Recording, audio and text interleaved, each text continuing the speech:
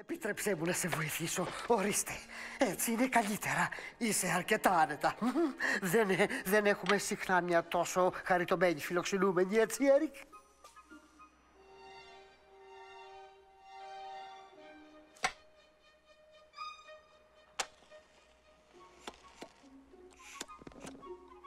Ε, Σου αρέσει; Είναι στα αλήθεια υπέροχη.